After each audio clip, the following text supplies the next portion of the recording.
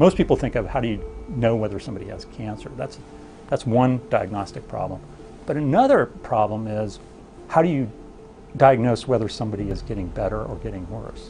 One of the things that I, my group works on is an implanted sensor that can be implanted during the initial biopsy, diagnosis of cancer, that can be interrogated or scanned later to tell whether the therapy is actually working.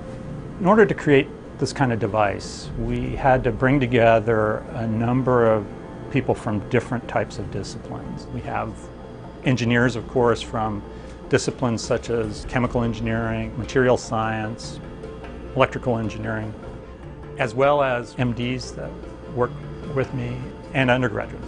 We're all focused on trying to make these very tiny devices that are exquisitely chemically sensitive to very trace amounts of, of the molecule that we're interested in.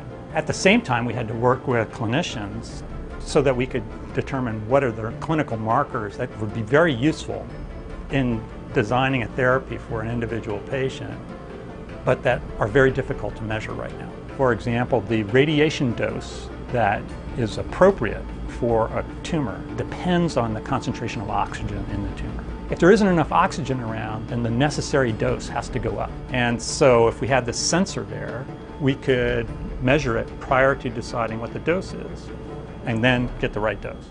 We'll have clinical studies going on right now based on things that were invented in my laboratory. I get calls from patients or the parents of patients. That's become more important to me than any publication that I can think of. What I'd like to do is make sure that the ideas that we've worked on are actually get into clinical practice. It's very hard, takes a long time, uh, I'm, but I'm seeing it now with ideas that I worked on as recently as five years ago, already in the clinic, and um, I think uh, I can do more of that.